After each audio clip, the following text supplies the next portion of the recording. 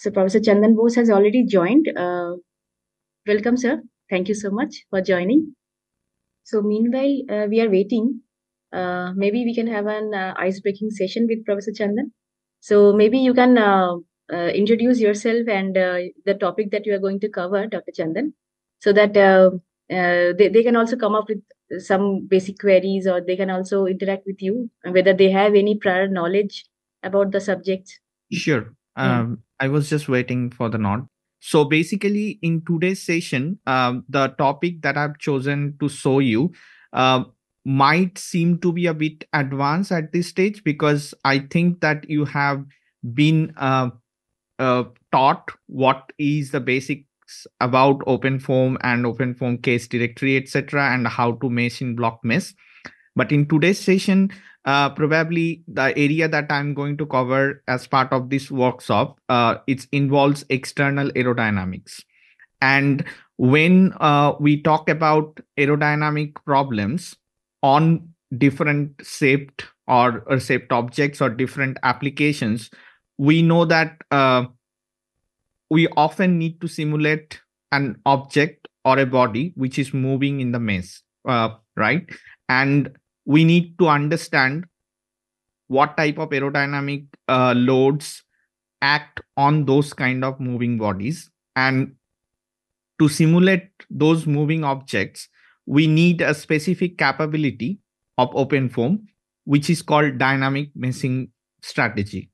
And it's a vast area and there are many many different options of doing it uh, which i will just you know touch the very uh, i'll scratch the surface of it and show you different capabilities. And then at the end of this session uh, we'll together i think you will be shared with a case particular case of a flapping airfoil which i will explain what are the files. And you will be assisted with one of our colleague to simulate that on your own computer.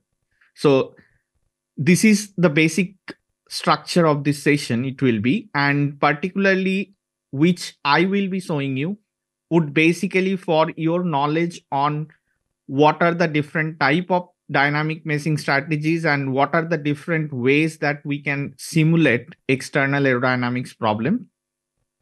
And during my session i would try to go as slow as possible and try to show you some hands-on simulations that I have already uh, simulated because it's not possible to simulate during the session and show you. But also, I'll try to explain you those settings, solver settings, case directories, etc. But you need not try it while I'm doing it. So, in the first uh, one and a half to two hours of this session, you uh, it will be on a presentation mode where you will be seeing different capabilities of OpenFOAM and their settings, etc. However, you don't need to try it on your own because it's not possible to focus on this presentation as well as try it on your own.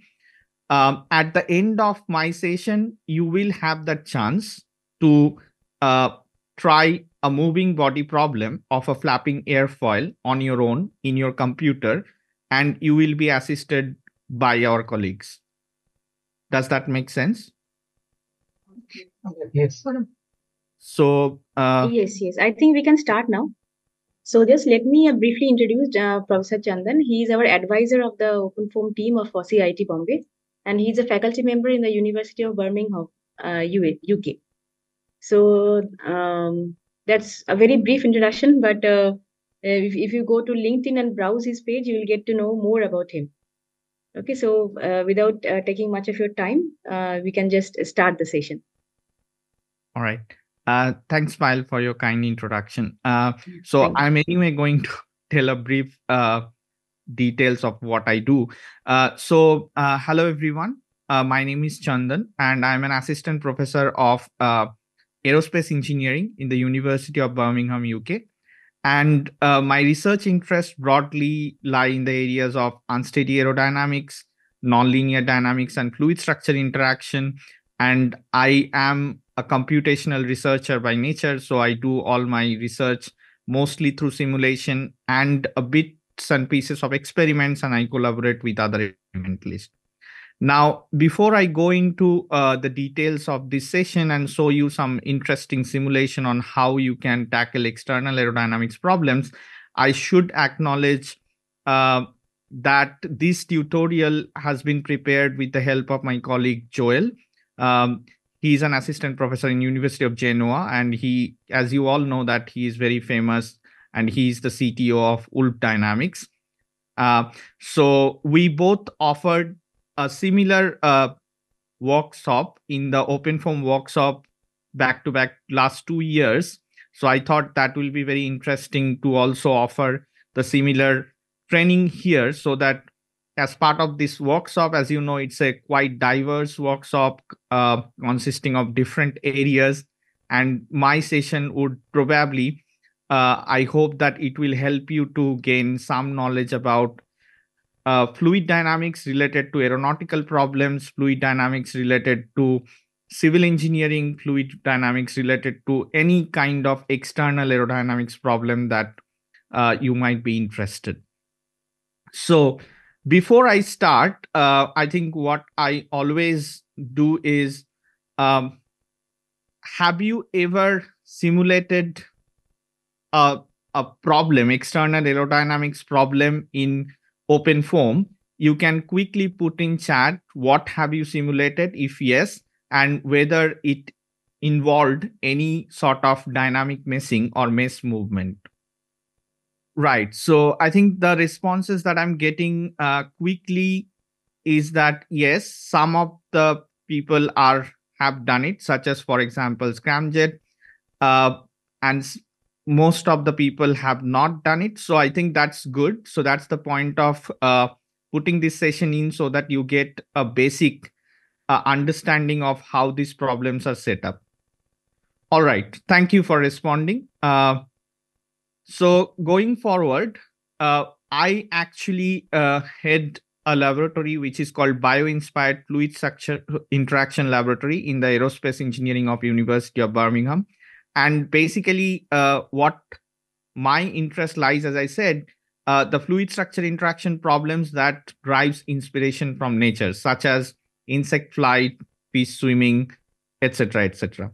So yeah in in future if any of you are interested to pursue these kind of problems please feel free to get in touch and before the last thing before i start today's actual topic i wanted to give you these two links.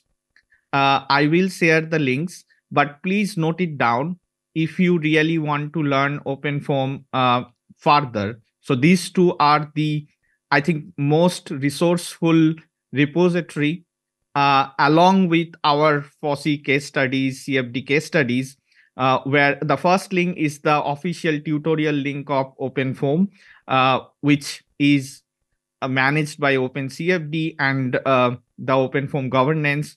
So this tutorial link will give you a lot of resources to learn OpenFOAM uh, throughout from scratch to a very advanced level. Right. So before, so as uh, before I again show you and start with a basic uh, problem, uh, I would want you to again remind that today, whatever I will be going to show you, uh, you need not try with me in the first session. You will have a chance to simulate a flapping foil like what you see in this animation, where we give a prescribed motion to an airfoil shaped body and you can see that the mesh deforms. Uh, so we have prepared a similar setup for you to try on your computer and you will be given the case setup and the uh, recording of the explanation of the case directory by our colleague and they will assist you to simulate it.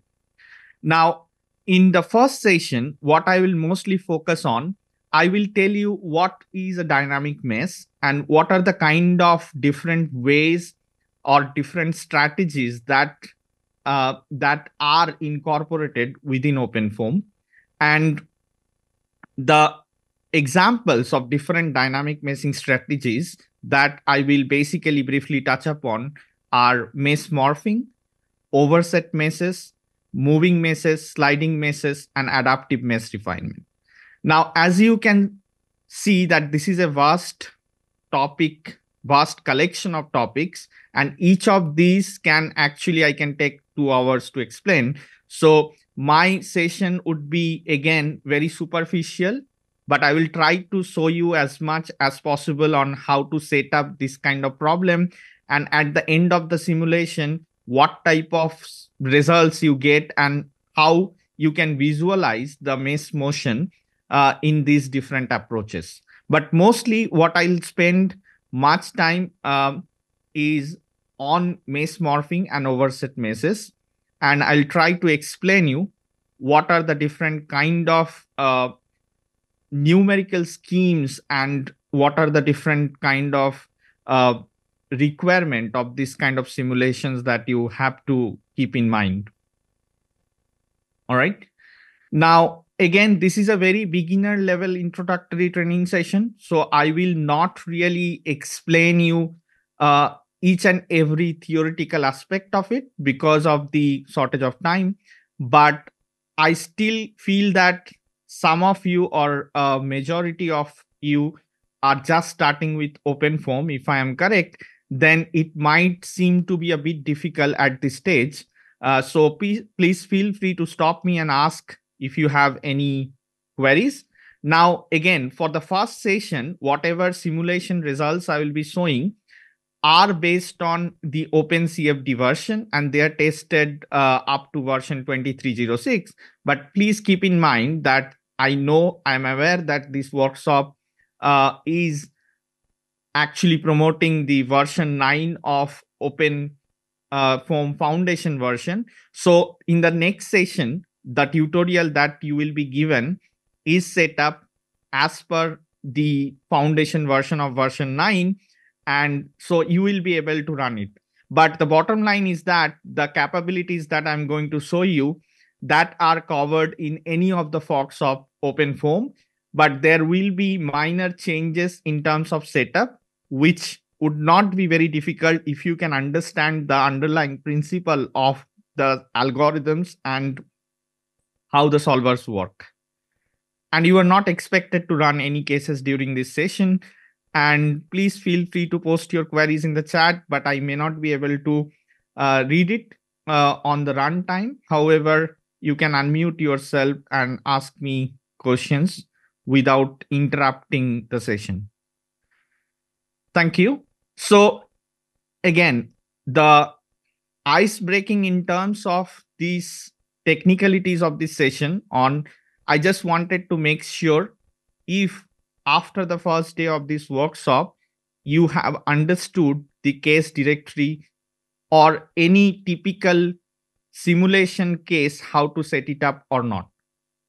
Can you please uh, type in the chat box yes, no, maybe? I expect that you have been uh, already given the training on how to set up a cavity case and you have also learned how to mesh in block mesh, etc. So just to repeat in couple of seconds that any tutorial case or any case setup while we uh, prepare for the simulation in OpenFOAM, we majorly have three different folders within the case setup. One is zero folder, another is constant folder, another is system folder. And can anybody quickly tell why this zero folder is named as zero and the constant folder is named as constant? I always ask these questions before I give any training. So zero folder contains the initial and boundary conditions for the variables. Perfect. And, and constant yes. folder uh, consists of the constant properties uh, of the fluids. Right. Perfect. So so basically, the in the within the zero folder, we basically define the initial and boundary condition of our state variables, such as, for example, the kind, the class of problems that I'm going to show you, they are incompressible, mostly incompressible fluid problems. And for that, we have majorly uh, two state variables, which, which are pressure and velocity. and in some cases there can be temperature so we have to you, you can see that within this zero folder we will have two files. One is pressure p another is velocity u. And within those scripts we define the initial and boundary condition. Now the constant folder as mentioned by one of you very uh, accurately that we keep the informations mostly which are not changing through our simulations, right? Which remains constant throughout our simulation. For example, my transport properties. That means, for example, my kinematic viscosity of the fluid, which will remain constant throughout the simulation. We keep it within the constant folder. The another important thing that we keep within the constant folder that is uh, the mesh information. And you can see that always if you prepare the mesh through the blockMeshDict, or if you import the mesh from any third-party software, such as you make a mesh in um, ICEM-CFD, or you make a mesh in Salome or ANSYS, and then you import it to OpenFOAM, that will create a folder called polyMesh, which will have all these information such as points, faces, neighbors, boundaries, etc. And it is very important because the names that you denote to the patches or the boundaries in the mesh has to match in your zero folder when you provide the boundaries uh, condition and initial condition. Otherwise, you will always get errors. Now, can you tell me what is the other file that we might have in the constant apart from the mesh information which is in polyMesh and transport properties such as kinematic viscosity density etc there can be another file within the constant folder which we might have if we need. Any idea about it? The turbulence models file right? Yes. Exactly. So if we want to include the turbulence modeling in our simulations, such as uh, such as basically if it is if we want to mention if it is laminar, if it is RANS simulation, if it is uh, LES simulation, then we need another file which is called turbulence properties, or again in the foundation version, it is termed as momentum transport. Within that, we have to define the turbulence model if we want to and which class of turbulence model that we want to use. Okay. And then the most important folder is called system, which has my runtime controls such as start time, end time, time stepping, whether we want to use adaptive time stepping, whether we want to use some sort of function objects, so such as to calculate forces, uh, everything is defined within the file control dict and we have fvSolution and fvSchemes where we give our CFD discretization schemes and the solution methods for our linear equations that comes from the discretized governing equation, for example, Navier-Stokes equation. All right. So I hope that this is pretty clear after the first day of the workshop and you have already run some simulations on cavity problem, maybe some other. So can someone tell me what is the Navier-Stokes solver that you have used till now in the tutorials that you have run? icoFoam. ICO and uh, Icofoam. Right. Anything else? simpleFoam. Simple form. So if not we will be using today another another uh, solver which is called pimpleFoam. All right? So so what is the difference between icofoam and SimpleFoam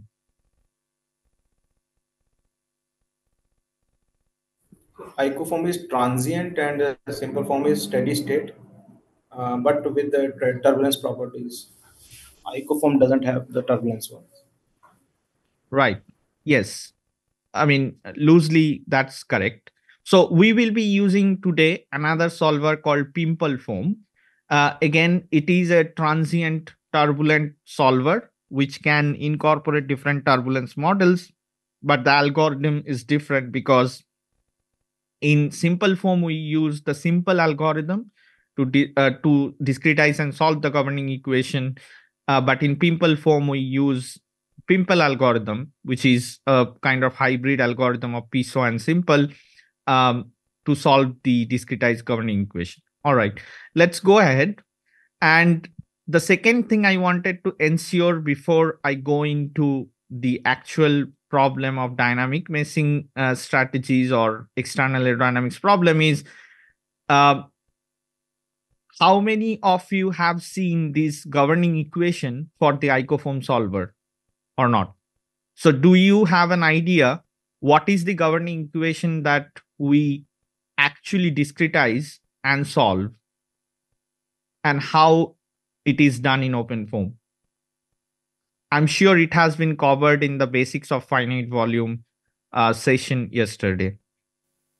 So if we can see the C source file of this solver, then this is there inside that.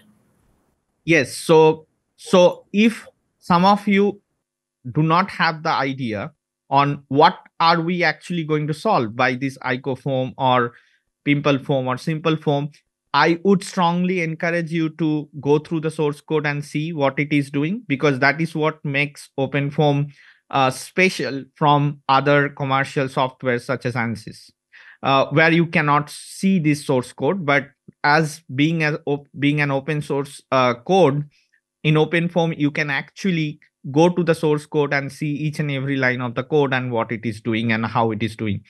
Now, just to give an idea that um, in today's session, whatever problems we'll be solving, uh, they will be incompressible Navier-Stokes solver. So this transport equation, which is a scalar transport equation, as you can see in these slides, uh, will take a form of incompressible Navier-Stokes so solver, where my density of the fluid remains constant.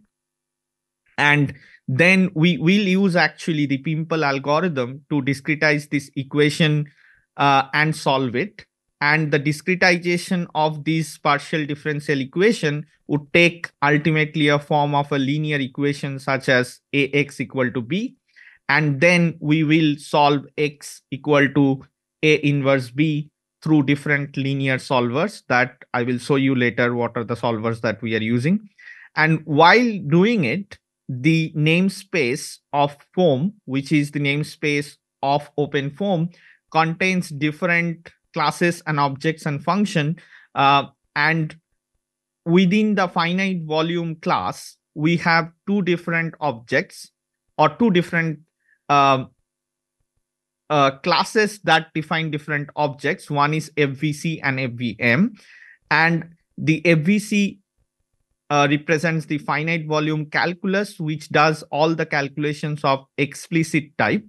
And the FVM, the finite volume method class, represents the implicit type of calculation.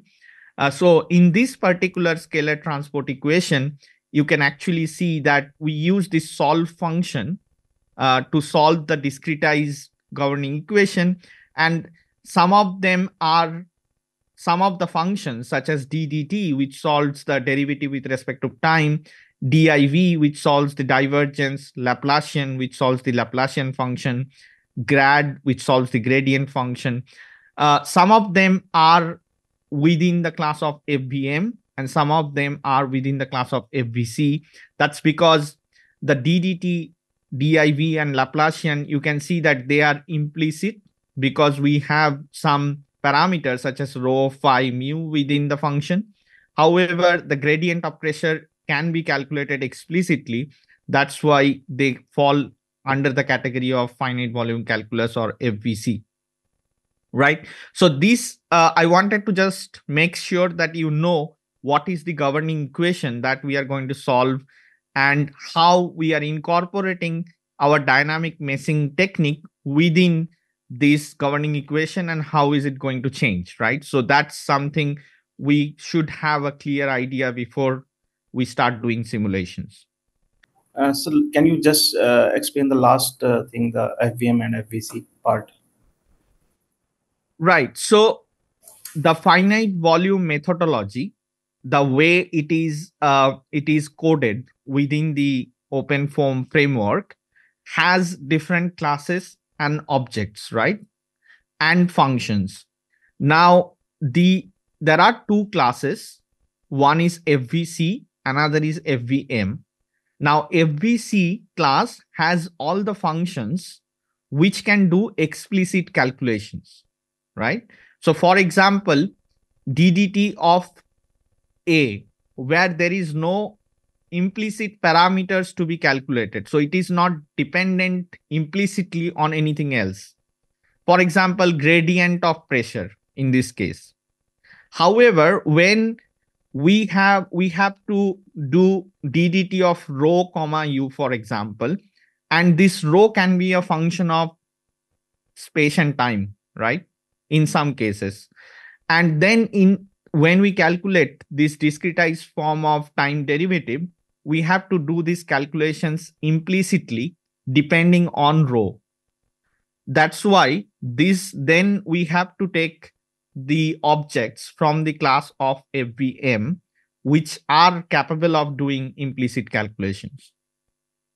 So the bottom line of showing this slide was that the governing equation that we will be solving or discretizing and then solving uh, might have different terms such as so in this scalar transport equation we see we have a temporal term we have a convective term we have a diffusion term and we have a gradient term gradient of pressure right? So depending on the situation like whether it is incompressible or compressible or anything else depending on different condition of your problem uh, we might have these terms can be explicit or implicit and depending on that we have to uh, solve it right? And we have to take the objects and functions from the appropriate classes. That's why it is important to know where we will use a vm class and where we will use a vc class. Clear? Yes sir. Thank you. Any other question at this point? Right.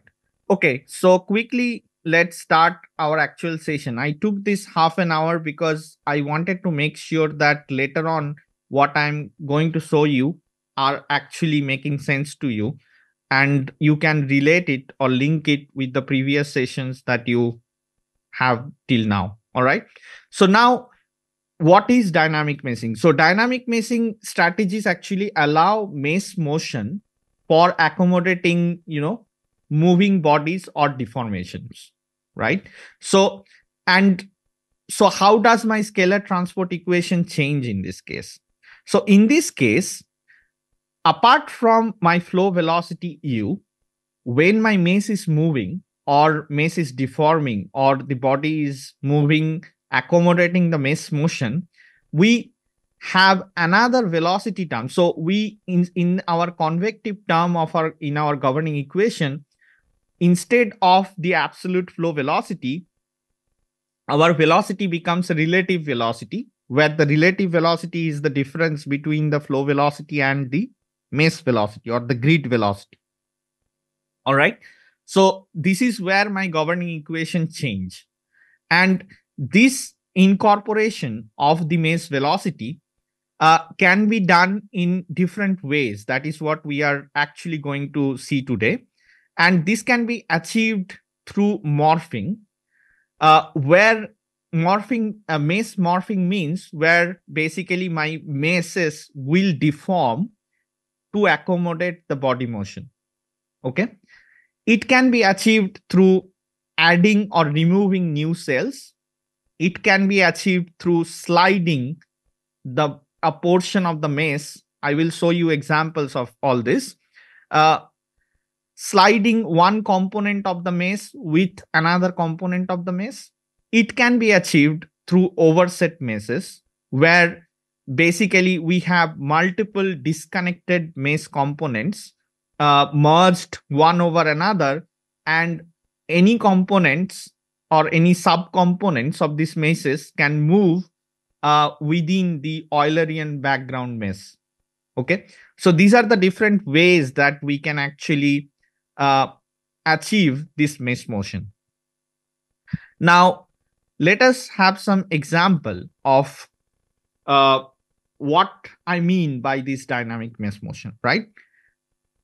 and then also it inherently brings the questions what are these dynamic meshes useful for why do we need them so we need dynamic meshes for different type of simulation to achieve different problem statements such as if the first example shows you what is a mesh morphing okay?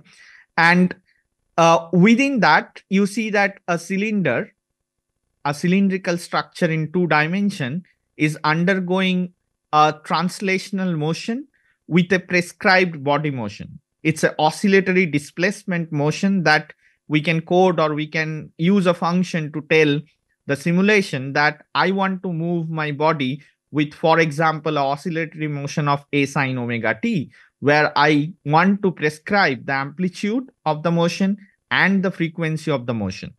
And you can see in this mesh motion algorithm, when the body is moving within your simulation, the connected grids or the mesh components are getting deformed. The grid cells are getting deformed to accommodate uh, this body motion. There is not any additional uh, creation or destruction of the grid cells. There is no motion of any subcomponents of the meshes. There is one single mesh which uh, incorporates the deformation of its grid cells to accommodate the body motion. Clear? So this is what is termed as mesh morphing. Now the second type is called sliding. So you can see which is achieved through a boundary condition called AMI, which is called arbitrary mesh interface motion, uh, where you can see that I have two component of this pitching airfoil. Pitching means rotating airfoil. And here also I'm giving a prescribed kinematics of a sine a sine omega t, for example, where I'm mentioning the amplitude and the frequency of the rotation of this air of this airfoil. However, my mesh has two different components. One is the inner circular mesh here you can see, and the other one is outer background mesh. And the inner circular mesh actually slides over the outer mesh component through a boundary where we apply this arbitrary mesh interface boundary condition. All right. So this, the other one I will show you later is called overset motion. I'll actually explain it in more details. So these kind of problems are actually the external aerodynamics problem with prescribed body motion. However, we can also incorporate the fluid structure interaction uh, into it, which means that the motion of the body is not prescribed, but it is induced by the flow separation around the body, by the vortical structures that is getting generated by the motion of the body. And then in turn, the displacement of the body changes the pressure difference around the body and also changes the flow um, parameters. And then it goes on coupled in a coupled manner where the structure and the fluid interacts in every time step. Okay? So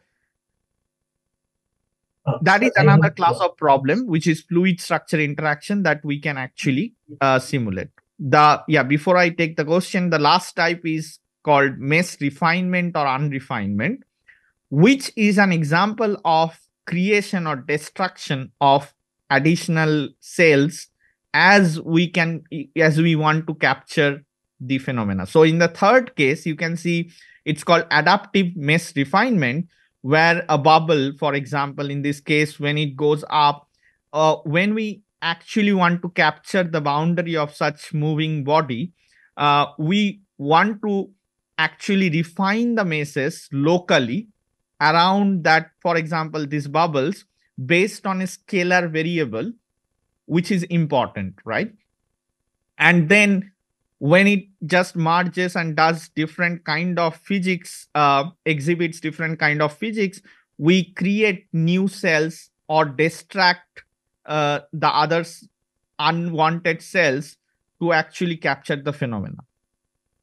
All right so these are the different ways by which we can capture. The other one is overset mo- mesh motion which I will explain now.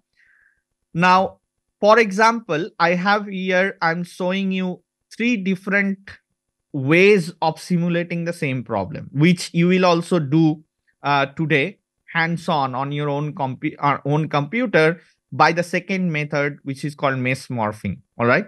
But however, so the first one, as I tell, uh, as I told already, it's called sliding mesh approach. Using the arbitrary mesh interfaces, you can see that we have uh, an inner component of the mesh which slides over an Eulerian outer component of the mesh. The second one, as I've already told, is called mesh morphing, where you can see that the mesh cells or the cell regions they get deformed as the body moves. And the third type, which I have not explained yet, is called overset mesh.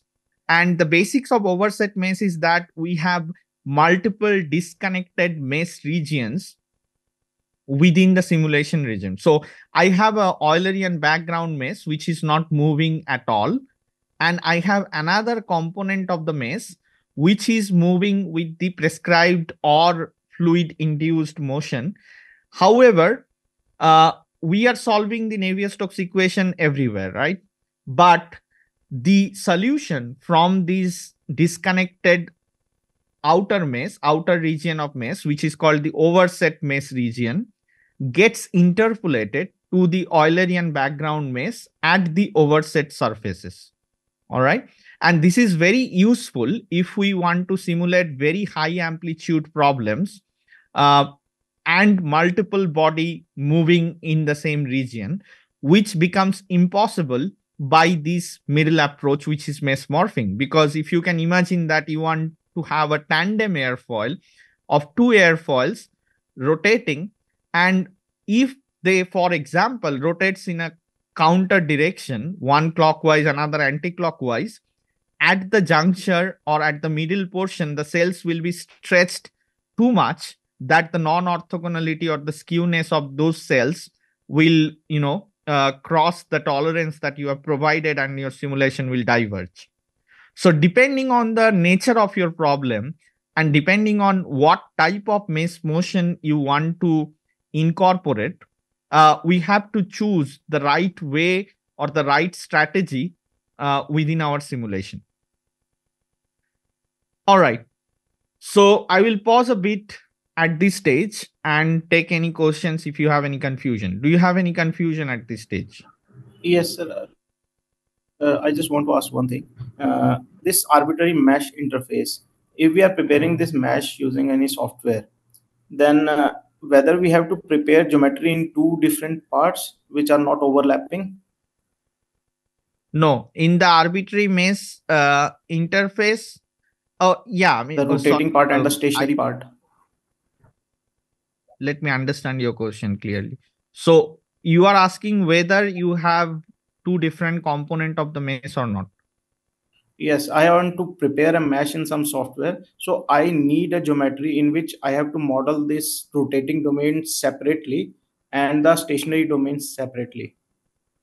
Yes, you can do that. You can you can actually create this inner circle and the outer annular circle separately and create the mesh and then import the meshes in OpenFOAM and merge them together. So, so OpenFOAM has a very powerful um, capability of merging different meshes together. So you can prepare your different meshes in different softwares, for example. For example, you create this background annular region in block BlockMesh and the inside rotating region in ANSYS.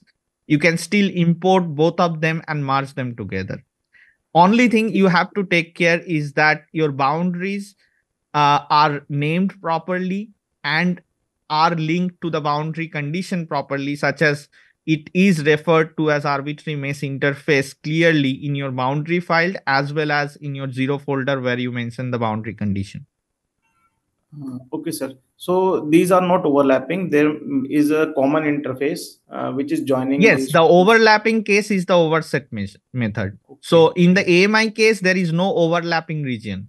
There are two separate mesh. The inside is a circular mesh. The outside is an annular mesh, which fits the in, in inner circle. And then the inner circle actually slides over the background mesh using this arbitrary mesh interface boundary condition. That's the difference between sliding mesh and the overset mesh. So if we have a larger domain in which the, the rotating domain is completely covered, so some, uh, suppose a cylindrical domain, so it has three faces. So we have to set up all the AMI interfaces separately or in within one AMI, one and two. I don't understand your question. So uh, the cylindrical domain uh, is inside uh, a bigger domain, and uh, there are three faces: the top, bottom, and the curved uh, face, which are uh, common to both. Cylindrical domain. How how is it three faces? Suppose, I don't understand. the the complete cylinder, like this is a 2D case. Suppose we are doing it in 3D, and the in rotating domain is completely covered by another domain, stationary domain right so so in if you want to do in a 3d case you have to define in a way that that all the surfaces have the boundary condition to slide so it is a bit difficult uh, to create i mean you have to design your domain and mesh in a way that they can slide over one another and what whichever surface you want to slide has to have this boundary condition called AMI. Okay, now, the design of the problem, uh, you have to think about it. So I cannot imagine clearly what you are mentioning. Thank you. Thank you very much. Right. So if there are. So I have one small question. Yes. So regarding this adaptive meshing, so like you mentioned in governing equation, there will be a term of the mesh motion that is being modified. Now, in adaptive type of meshing, is there really any motion of the mesh? I mean, it's just local refinement, like it's growing yes, and exactly. So the governing equation that I showed that does not apply for adaptive mesh motion. Okay. You are right. So right. in the adaptive mesh motion, as I think I mentioned, that we do a local refinement by creating or destroying these cell sizes. So I will show you the how to set it up, and I will explain what are the parameters that we need uh, for for actually simulating an adaptive mesh refinement depending on how much time i am i'm left with okay understood understood yes so the you are perfectly uh, have captured the point that the mesh velocity the relative velocity in the convective term that applies for other class of problems the other classes morphing yes. AMI overset but yes. not the adaptive mesh refinement thank you hello yes uh, good morning. Good morning. So my question is about the overset mesh. Since we don't have any interface which separates the moving zone and the rotating zone, how does the information transfer between two zones? The information is transferred through interpolation at the overset surface. So you can see that here in the overset mesh, which contains the foil, inside the foil there is no grid cells right because it's a rigid body and we want to calculate the flow parameters around that airfoil shaped obstruction however the mesh zone that is moving uh, which is called overset mesh has a surface which uh, has an outer surface, right? So the inner surface is the airfoil, which is a moving wall boundary condition, or it's a wall. So it has no no normal boundary condition. However, the outer surface of this moving zone, which is overset zone, is termed as overset patch, or because we apply the overset boundary condition there, which enables the interpolation of the field variables from the overset zone to the background zone. That is how it transfers the information. And are these interpolations similar to central differencing or upwinding schemes that we use for advection and other properties? No, inter there are a set of quite well established interpolation schemes within OpenFOAM, such as I will show you what are the options, such as inverse distance, such as uh, cell volume, weight, etc., etc. So there are specific interpolation scheme defined for overset algorithm within OpenFOAM. So I don't think central differencing is an interpolation uh, scheme in that sense. So we have dedicated separate other interpolation schemes for overset cases. Thank you.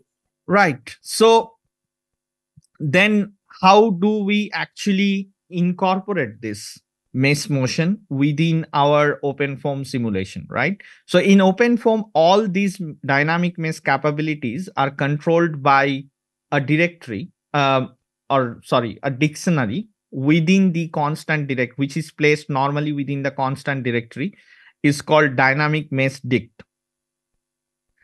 Now, apart from when I explain what are the files that are consisting of this constant folder, this is the other file which we need if our simulations actually involve dynamic mesh motion. So this is dynamicMeshDict, uh, where we define the type of dynamic mesh motion we want to use and where we give all the libraries and parameters needed for this dynamic mesh motion uh, to be achieved within the simulation, right? Now, when we do a moving body simulation, it's quite intuitive that we have to assign a motion type to a particular, either to a particular patch or to a volume of cells or to the whole domain. So this is very important to understand that we can either move a patch, such as when we create the mesh, we name the patch of an airfoil as airfoil, and then we tell that I want to move that patch with a prescribed motion or with flow induced vibration. Apart from that, the other option is that we can mark a volume of cells and name them as a particular cell zone and then apply the motion on that cell zone. And the third option is that we can move the whole domain itself.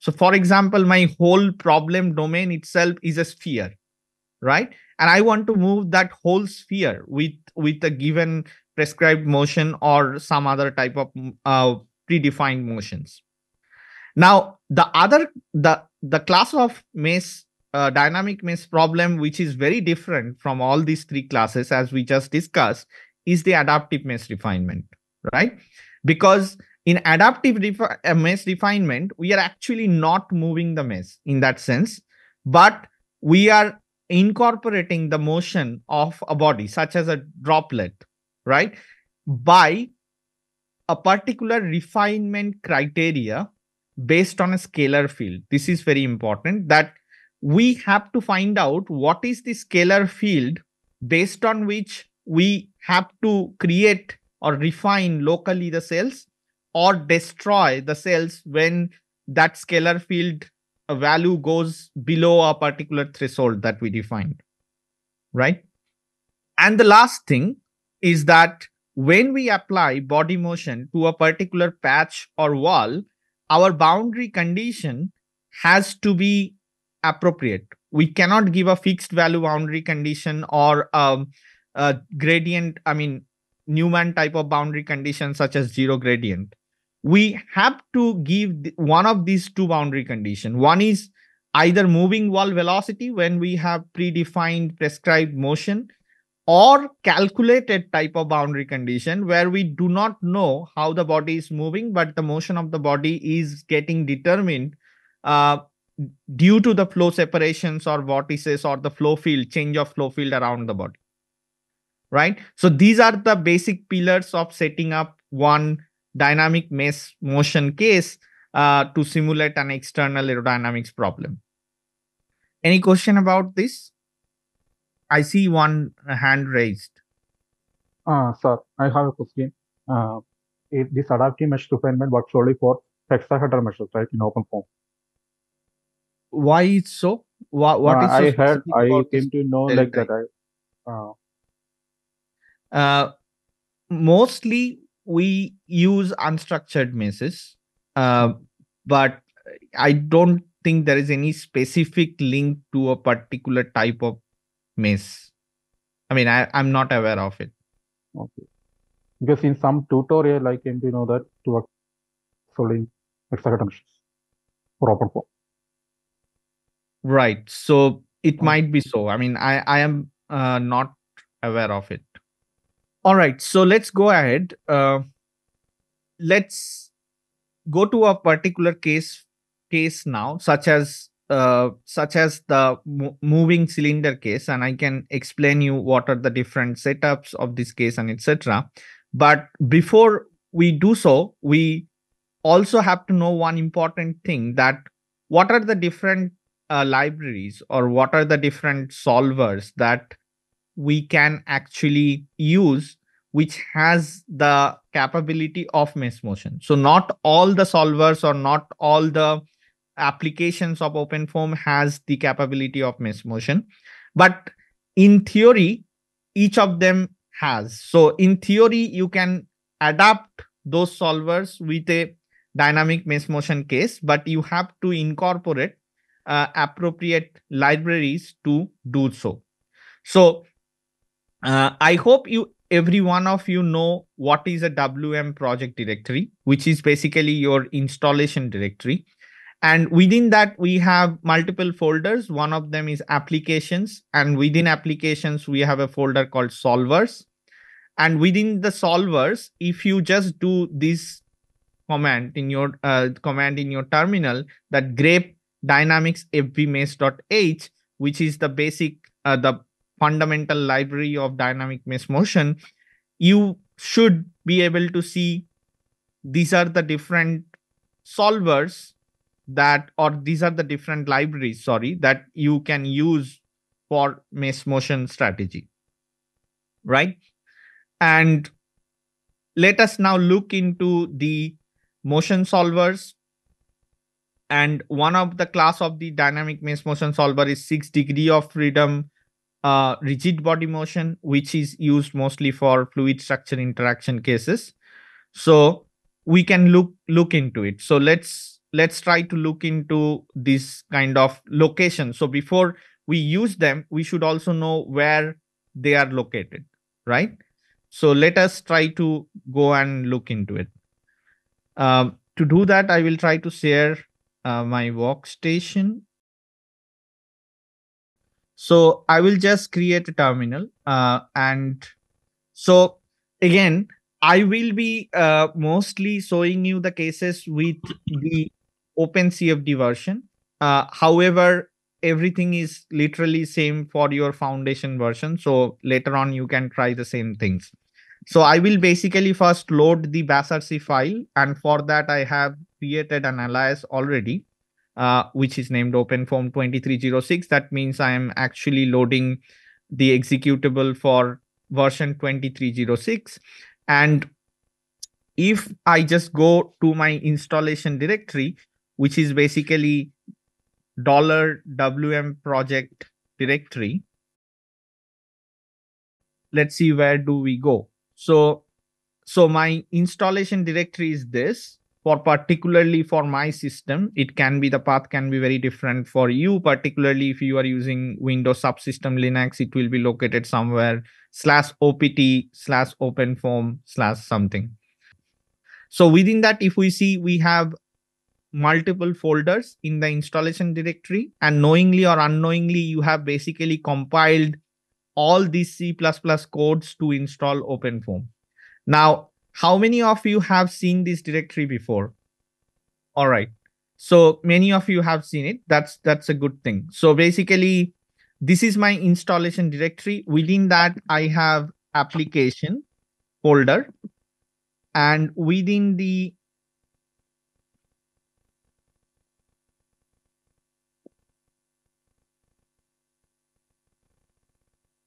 not allowing me.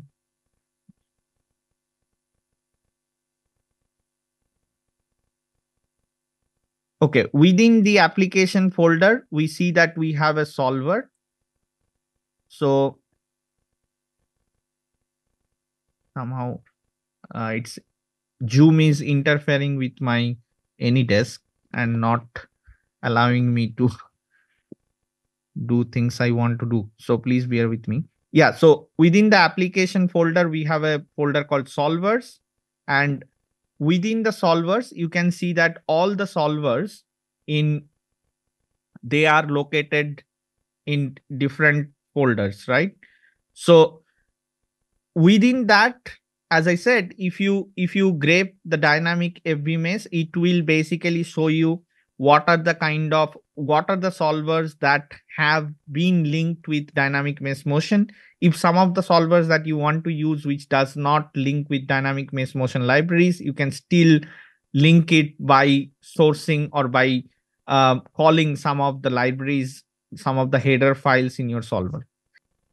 So is this clear where your solvers are located and where you can do it. So you can see that apart from uh, application, there is also a folder called SRC. Okay.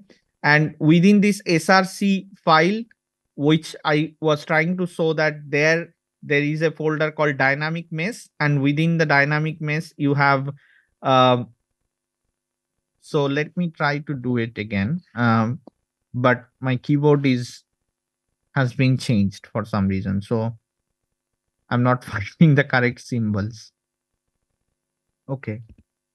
So if I go directly to, so basically, you know that we have other aliases such as SRC, which directly takes me to the source code folder. And let us see what are the folders we have, right?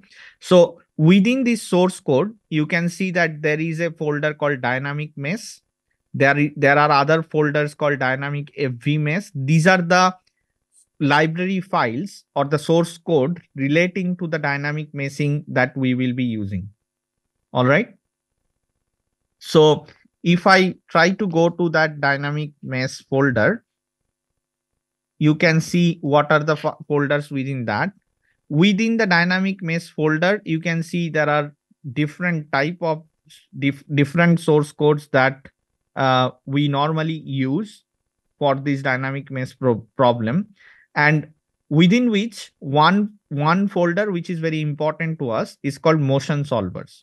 Because this is the motion solvers that we are going to use in our cases in our tutorial cases right? So if we if i go to motion solvers folder we can see that we have again different type of motion solvers that we can use uh, some are based on displacement, some are based on velocity, etc., etc. And uh, motion solver velocity. So if we just look into it, what are the solver available within different folders? Uh, we go to the displacement folder and we can see that there are solid body motion solvers, there are interpolation based motion solver, displacement based motion solver, etc., etc. Okay. So is that clear where these codes are located? Or do you have any doubt about this path? Okay. And again, within the motion solver, we have a main code, C code and a header file for all these codes. So if, for example, the, the motive of me showing you all these paths and location of the codes is that if you want to modify if you take a template of any of this motion solver and want to modify according to your need of your simulation you can actually do so. So you can take this code from here and then modify the code and recompile it to make your own mesh motion solver. Right so well that, i think that's enough uh, for for the introduction of this. So is it clear um, is it clear? I have a doubt. Yes. So um, when we talk about UDF and ANSYS Fluent, is it the same as going to the source code and changing whatever we want in the code? UDF is a user defined function which can be used for many many different things in ANSYS Fluent because you cannot see the actual source code in ANSYS Fluent, right? It is just gives you a, a tool to incorporate some of your codes into the main code. But in OpenFOAM, you are basically um, can see each and every code. But the already existing repository is not the solution of 100% of your problems. You can always think of a new problem to give a new type of uh, trajectory or kinematics, which is not incorporated uh, within the standard functions of OpenFOAM, right? So in that case, you might want to code that particular motion that is required for your problem. And for that, what I mean is that you can take one of these mesh motion solvers source code as template. and then you modify it you don't really have to code it from scratch everything you modify it and you can always recompile it to create your own mesh motion solver does this make sense Yeah, right. Thank you. um if a mesh if a rigid body is moving near a boundary what kind of dynamic meshing should i use uh, so you can actually use many different type you can use mesh morphing you can also use overset mesh, mesh method i think overset mesh method would be more appropriate in this case but whether it's a near a wall or anything that depends on the boundary condition. So you have to set the boundary conditions appropriately and also tune your solver setup your uh, cfd schemes your tolerances uh, your everything of the solver so that the solver doesn't diverge.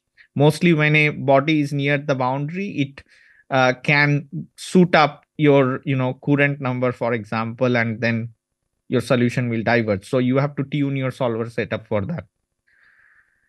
Uh, right. Uh, mesh preparation is same for ami and mrf uh, yes mrf multiple rotating fro- frame actually framework actually use some sort of sliding mesh so it they are similar. All right. So i think we have spent one hour and in the next one hour i want to show you some of the examples and how to incorporate what are the syntaxes of this kind of incorporating this kind of mesh motion all right? So uh, let us go ahead with my presentation and we will see. So now you know where these codes are located so it's not you don't really have to do things blindly.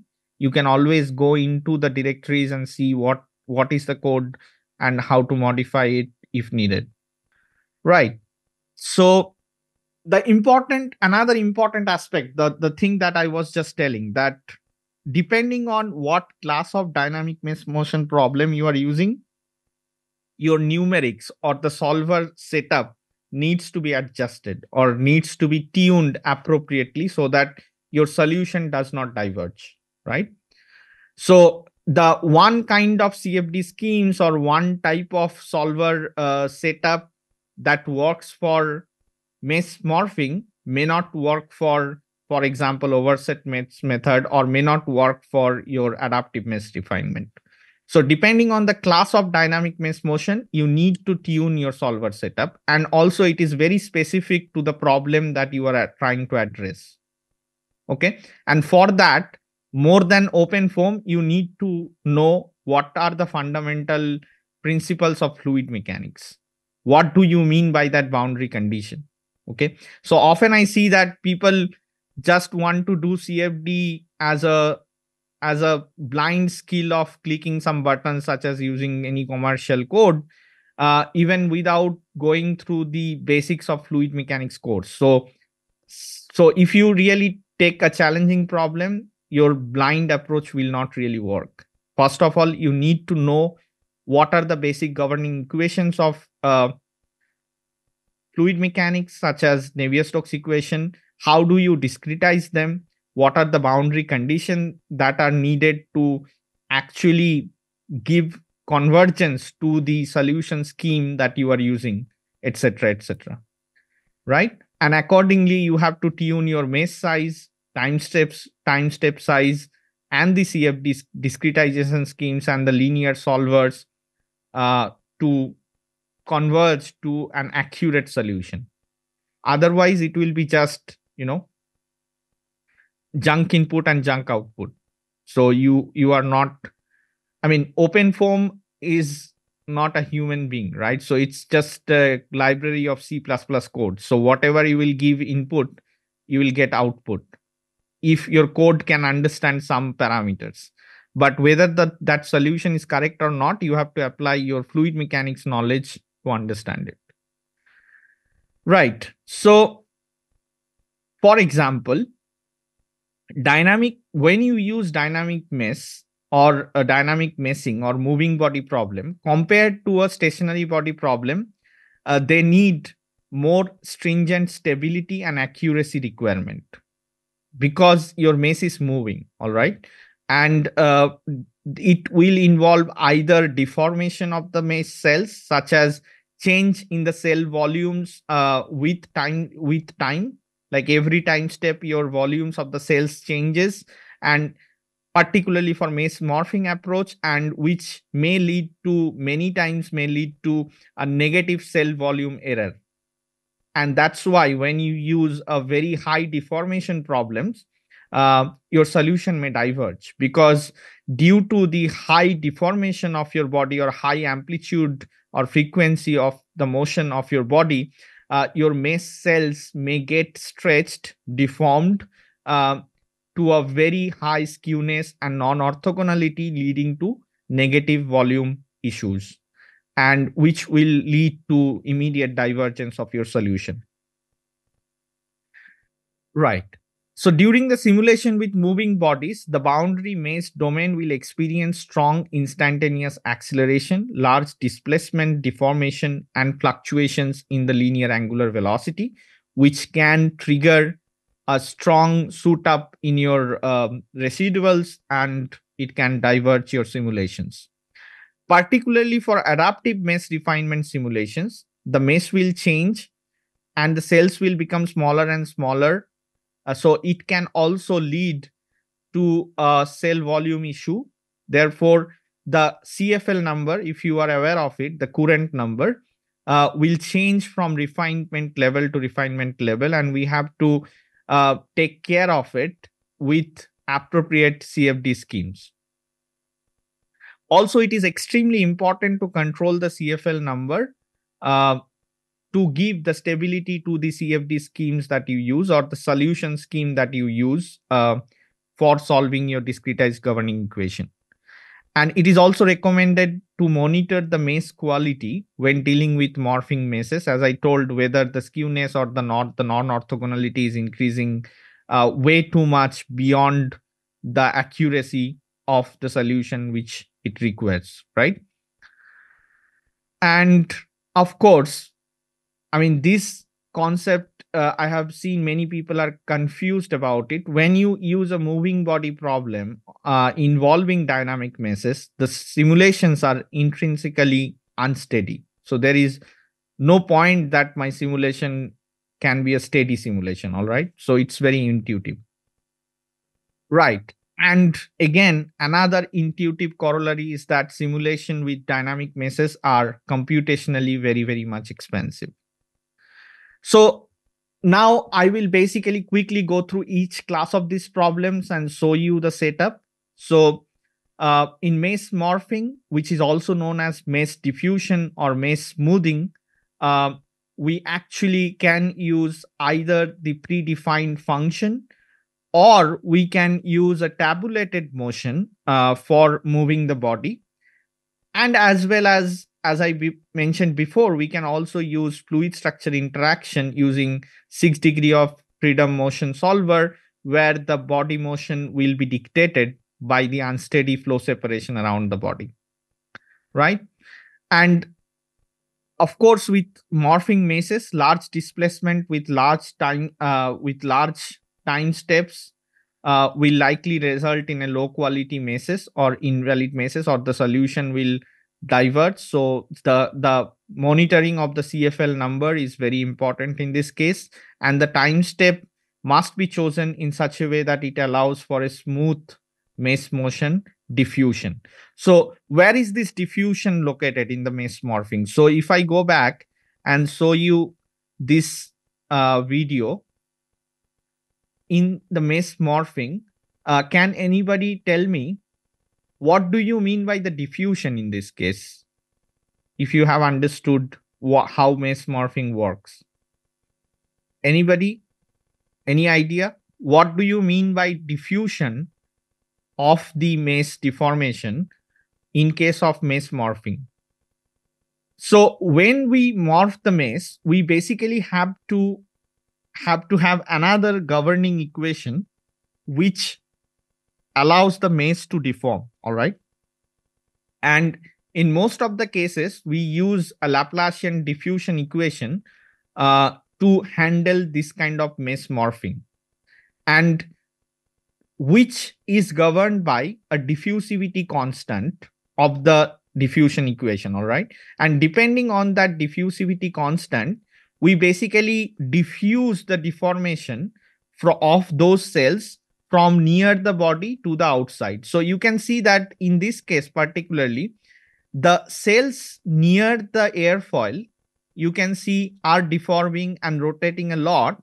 But slowly as you go outward in the radial direction, the deformation of the cells are reducing. And after some point outside, you do not see any deformation of the cells.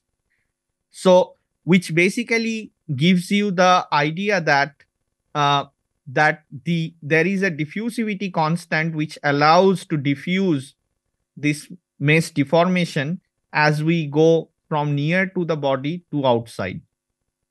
Is that clear? So that is what it is meant here. Right. Um, so what is the solver setup in case of my mesh morphing uh, case? So as I've already told that within the constant file, we have we will have a dynamicMeshDict constant folder. We will have a dynamicMeshDict file, which where we have to give the details of the mesh motion. And in this case, I'm just demonstrating the problem that I've already showed you, which is a moving cylinder problem. Uh, we have to first mention uh, a mesh motion library which is in this case the dynamicMotionSolverFvMesh, which I already showed you. Uh, and then we within that mesh motion library, we will have a motion library, which is the library of fvMotionSolvers. And then within that, we have to choose a particular mesh motion solver, uh, which I showed you that there will be some uh, displacement based solvers, some velocity based solvers. In this case, I'm using a displacement Laplacian case. And for that particular displacement Laplacian mesh motion solver, we need to give this diffusivity constant or diffusivity method, the way the diffusion equation works or it's solved. And the method is here inverse distance, which is a mesh diffusion method and we are using this method on the boundary which is named as cylinder in my case. Okay? So my moving boundary is the cylinder in this case. And we are using a displacement laplacian based mesh motion solver based on the inverse distance diffusivity method. So this is this is how the dynamicMeshDict will look like. I will show you in a in a while. And here it's it's kind of a summary of what are the other kind of uh, motion function we have. We use displacement laplacian but we can use depending on the version of openfoam whether it is foundation version or the opencfd version you have multiple different motion functions such as solid body motion function such as velocity laplacian such as multi solid body motion function etc and we have also a different set of diffusivity methods, such as inverse distance, such as, um, you know, inverse point distance, inverse face distance, inverse volume, etc., etc. So you can, you know, check and compare these different methods and its correlation with the accuracy of the solution that you get. And within all of these motion functions, what type of prescribed motion we can give by predefined functions?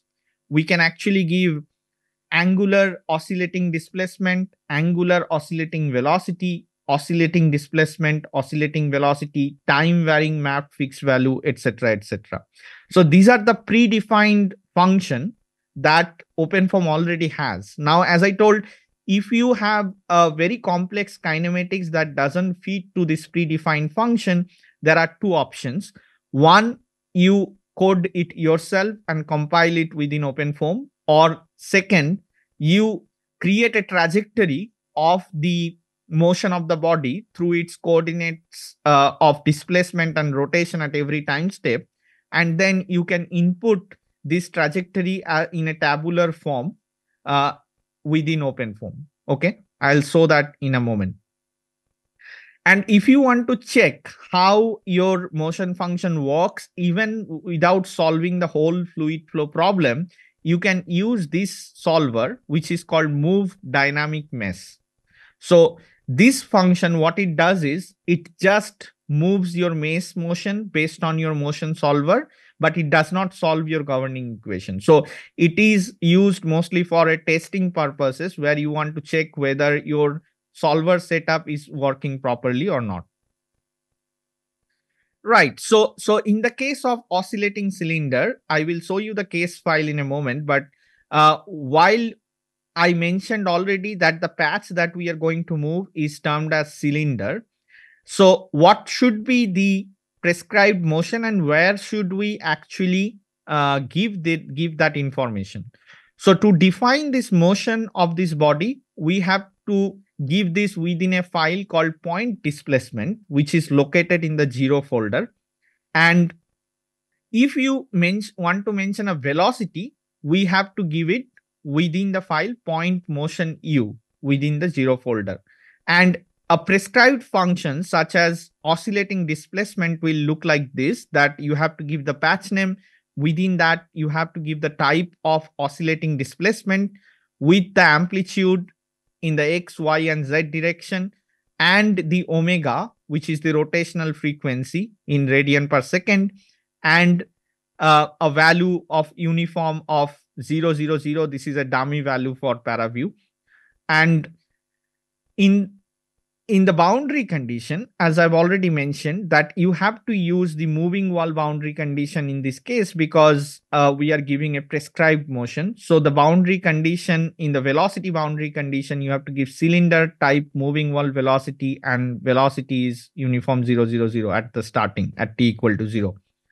Right? So does this make sense? This is how we set up a mesh morphing case for a moving cylinder. So what are the extra or additional things that we need to really take care of for a dynamic mesh motion case? So in in for a stationary body we do not need these fields which are called cell displacement and diffusivity. But for a mesh morphing case when we have dynamic meshing in place we are actually solving for two new fields which are cell displacement and diffusivity which relates to the mesh morphing. And in the dictionary fvSolution, you also need a solver for cell displacement. So for a cavity problem, for example, you needed only the solver for pressure and pressure corrected pressure, velocity. That's it. We only have two state variables. But in this case, we are also solving for cell displacement because our mesh is moving. And so we should assign a linear solver in the fvSolution file. So if you just copy the files from your cavity and just include dynamicMeshDict, it will not work. So it will show you error because you have to modify also your solution schemes. And uh, in the fvSchemes, where you use actually see different CFD schemes, you have to use this diffusivity method that is Laplacian of diffusivity and cell displacement. Okay.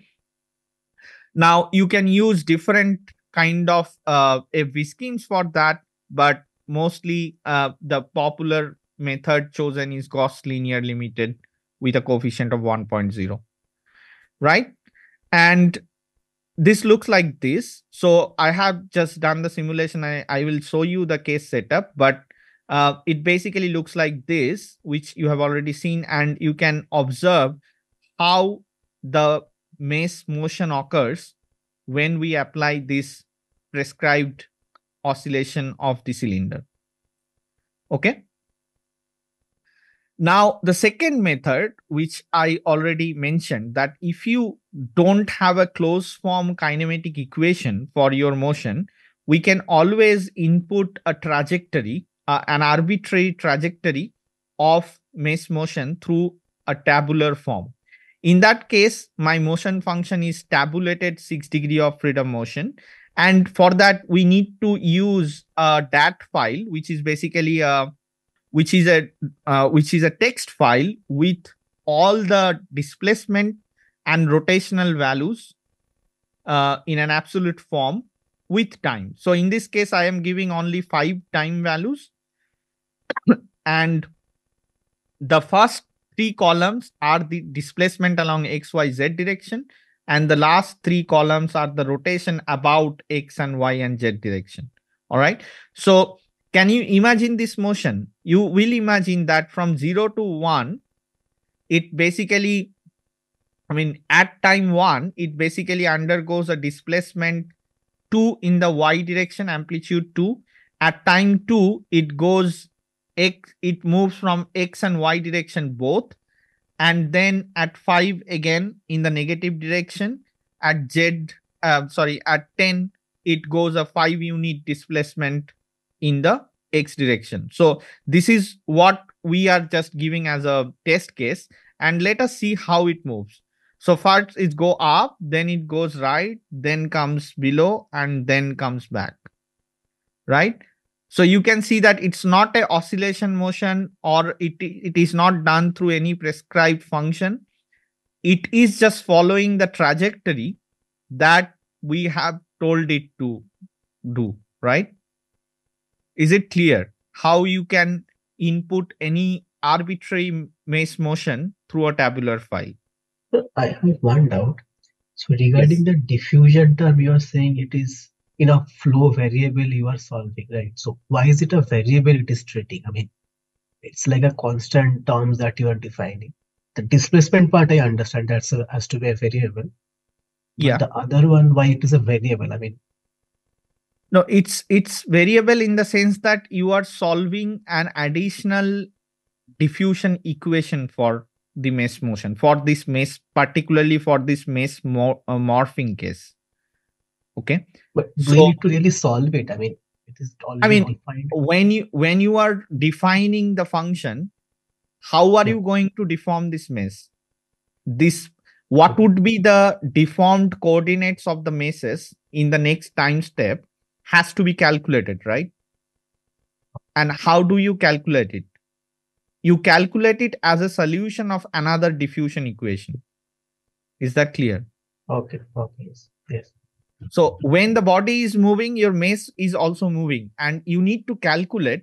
Like for example, what will be my velocity field or pressure field in the next time step comes from the solution of Navier-Stokes equation. Mm-hmm. Accordingly, what will be my coordinates for the deformed mesh in the next time steps has to come as a solution of another governing equation, which is a diffusion equation in this case.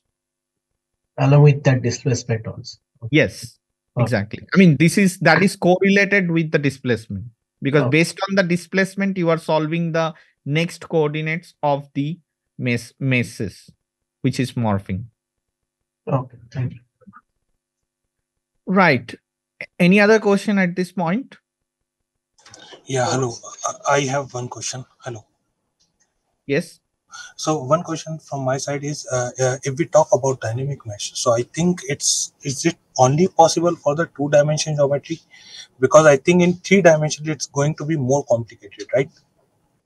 No, but these whatever algorithms I'm showing, they are valid for two, three dimension both.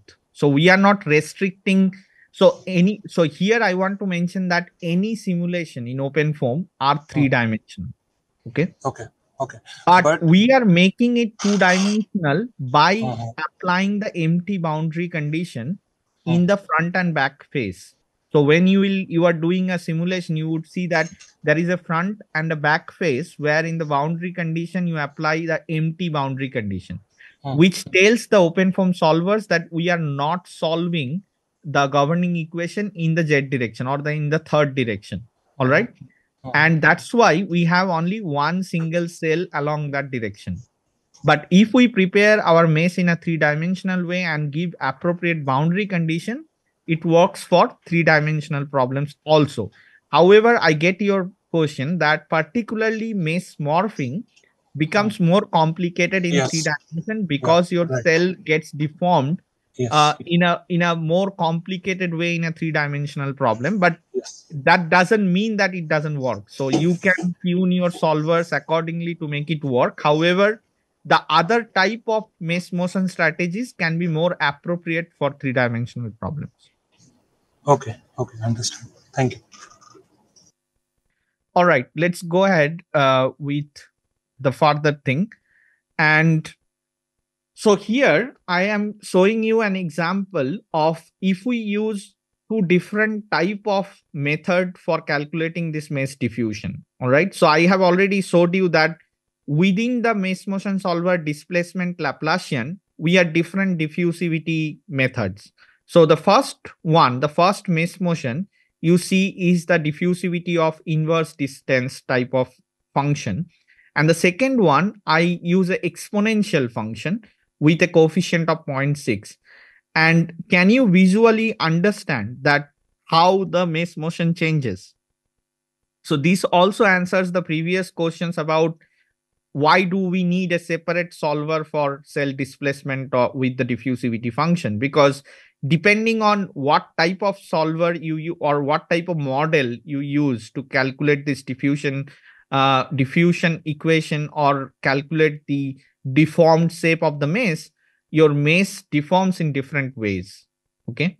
So the first one deforms in a way, the second one deforms in another way.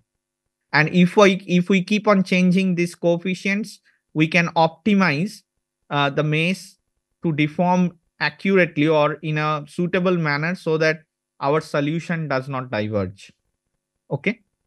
Now, if we want to use multiple bodies with a prescribed motion, we have to use a different solver. And for that, uh, we can use a setup like this, where we use, we have basically have, I mean, it's not a different solver in this case, but we have to use a different syntax for it. And we can use inverse distance function itself, but we can use two bodies. Here I have named as cylinder one and cylinder two. And you can see there are, these are the different types of, you know, displacement functions that we can use inverse distance, inverse volume, quadratic inverse distance, exponential, uniform, directional, etc., etc. Or we can also use velocity-based uh, solvers such as velocity Laplacian, but your syntax will change. So we have to mention both the patches of the bodies that we want to move.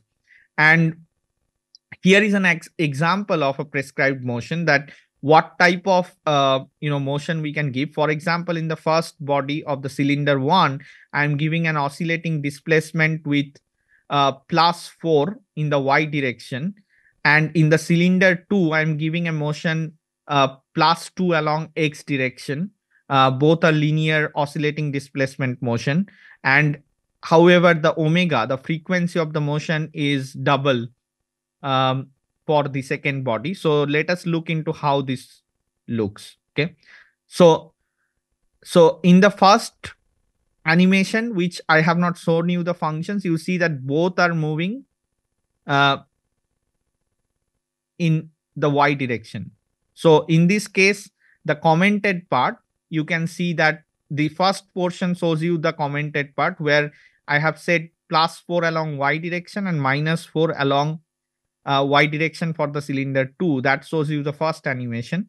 And the second animation shows where one cylinder is moving in the y direction and the other cylinder is moving in the x direction. So this is an example of simulating multiple bodies using mesh morphing. However, as I've already told, that when there is multiple bodies, mesh morphing becomes more stringent in terms of your solution because in the middle portion, in the intermediate region, you can see that the, the deformation of the cells becomes quite large. The skewness and the non-orthogonality becomes quite large. So if you use this for high amplitude problem, your solution is going to diverge. Okay. Right. So, so this is another example of uh, airfoil, tandem airfoil moving. So it doesn't really matter what is the, what is my body shape. We can actually use different body shapes as per our problem and use the similar setups. Uh, you can see here, I'm using quadratic inverse point distance and my first patch is airfoil downstream and the second is airfoil upstream. And we could still use mesh morphing if we appropriately tune our solver and appropriately prepare the mesh. All right. So next, quickly, I will just give you a touch upon uh, vortex induced vibration, which is a class of fluid structure interaction problem for which we can use six degree of freedom motion. And for for that the additional thing that we need is a solver for the structural oscillator all right. In this case the motion is not prescribed. So what will be the displacement for the cylinder will be calculated by solving a structural oscillator equation where the coupling term comes from the forcing from the flow solver. So basically there will be uh, the right hand side of the structural equation will be coupled in a partition manner with the flow equations uh, results such as aerodynamic loads. And we can use different type of solver for structural equation which uh, can be Newmark it can be symplectic there are different class of problem uh, for which different methods works better. But you can see in this case that the motion of the cylinder is driven by the flow. So here i end my mesh morphing uh, uh, presentation. And as i told again i'm just scratching the surface because we have very limited time and quickly i want to show you uh, what do we and how do we set up the overset meshes. But i can spend another two minutes if you think you have any particular questions on mesh morphing. Do you want to ask any specific questions so on i have a small question. So is this kind of problem can we just simply solve the mesh motion without solving the Navier-Stokes just to check is yes that is the that is, is the, the strategy? Yes i already showed you that. If you can remember this um, the solver which only solves for mesh motion is called moveDynamicMesh. Because that means we are not solving the fluid part yet. No we are not solving the so, uh, governing equation of the actual flow which is navier-stokes equation but we are solving the diffusion equation and uh, seeing the mesh motion. So i'll quickly Yeah. show you that uh, in a case folder. But uh, let me also touch upon the overset meshes a bit. Okay? So in the overset mesh as i have already explained it that we will have multiple disconnected meshes one laid over another. So for example in this case we have a background eulerian mesh which is let's say i have named it as all. Then i have component 2 mesh which creates the refinement of a fine region of volume of cells around our actual body. And the component mesh 3 is the cylinder which is our actual body that is going to move all right? And we can use prescribed motion we can use six degree of freedom or we can use any arbitrary motion or fluid structure interaction using this. And the overset mesh has different component meshes as i've already told. And as i've already explained that the information from one component to the other component is transferred through the interpolation of the field variables in the overlapping surfaces between these component meshes all right? And overset patches can intersect each other. So it's it's basically even if your body comes very uh, one over another your solution actually does not diverge only thing that you get wrong interpolation or the interpolation error may increase and you may get inaccurate results. Uh, and overset meshes can add numerical diffusion to the solution. Uh, so it is very clear that the interpolation is non-conservative. So your accuracy goes down from a mesh morphing approach to an overset method because inherently we have interpolation errors uh, incorporated right? So so we have to really tune our solver accordingly so that we can get accurate results.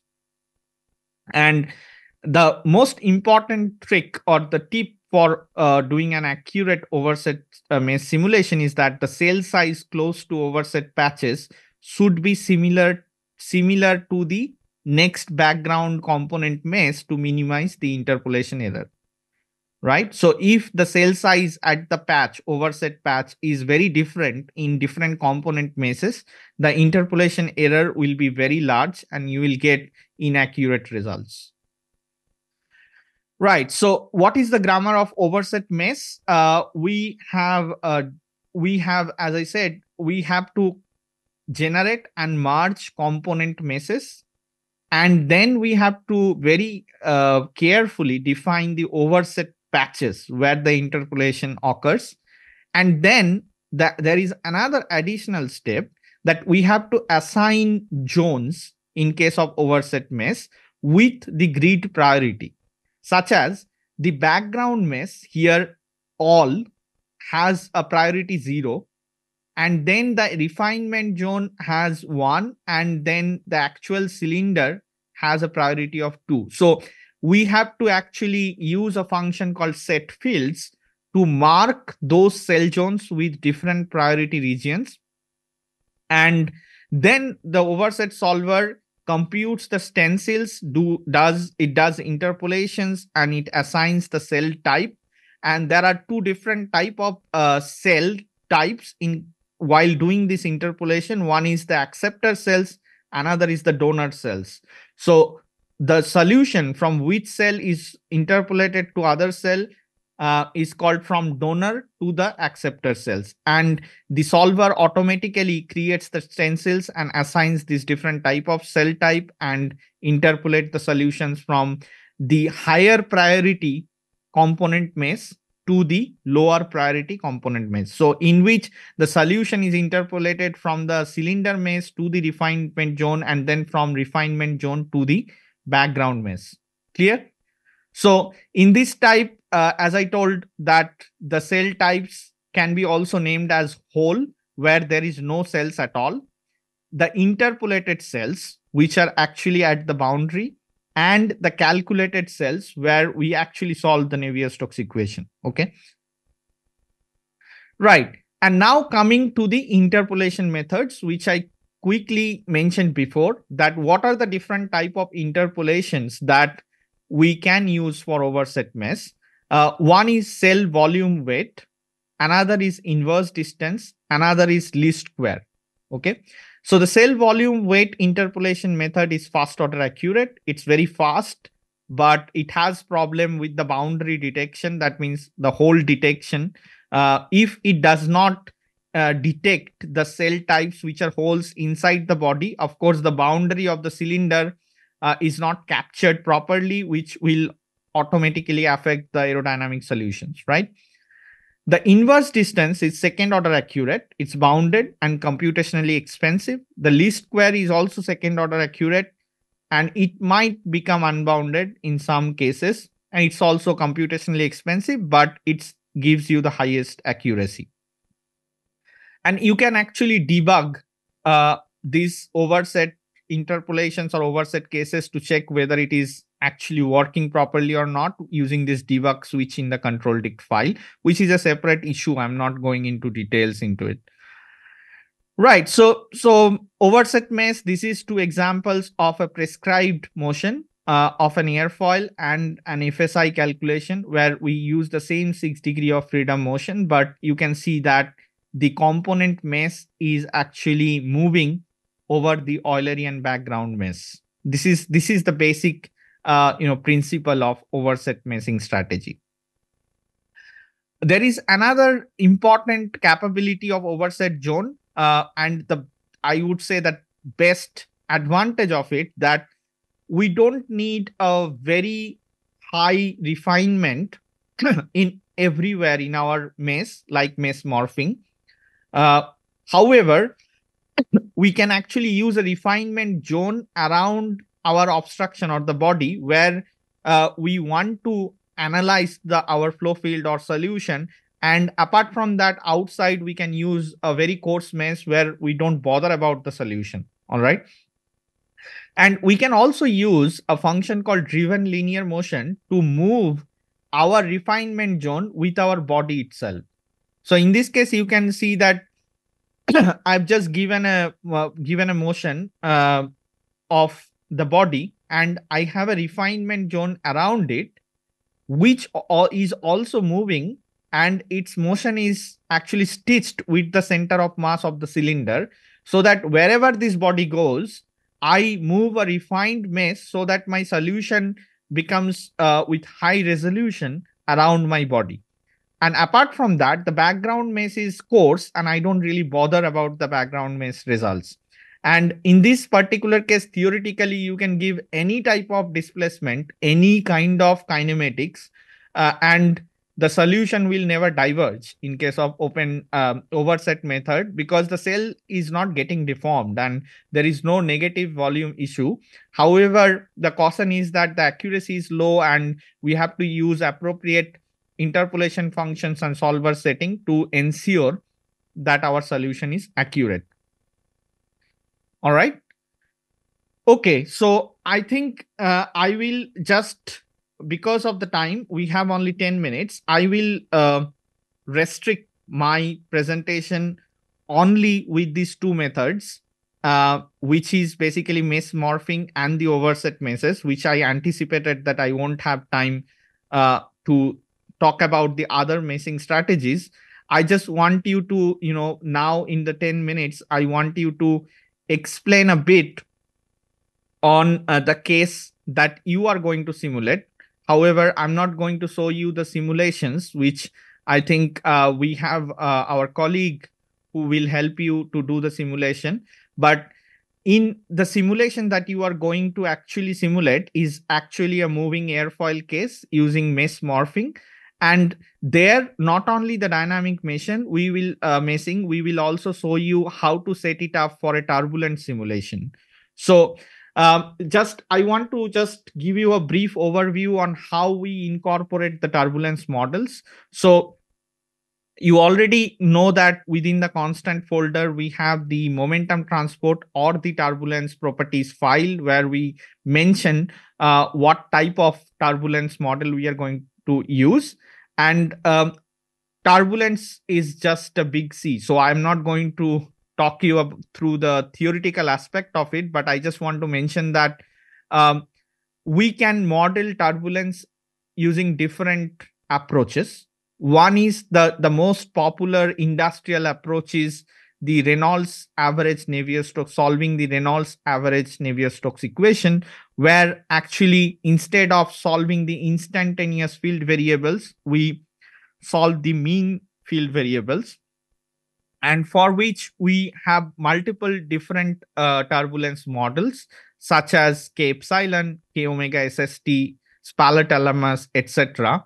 Uh, so in today's simulation of a flapping foil, you would use two different turbulence model. One is K omega SST and another is Spalart Allmaras, which are more accurate for an external aerodynamics problem. And uh, we will explain to you how to set up these turbulence model parameters in your zero folder in the initial and boundary conditions and uh, how does this work. So for this, I want to just quickly show you the case files. Um, I have I just have 10 minutes. So I will share my workstation screen and show you the basic case setup of the problem that you are going to solve. And also, if time permits, I will also try to demonstrate to you the um, moveDynamicMesh function, which you can use to see the mesh motions. Uh, before that, I can spend a couple of minutes uh, to answer if there is any overall queries or doubts.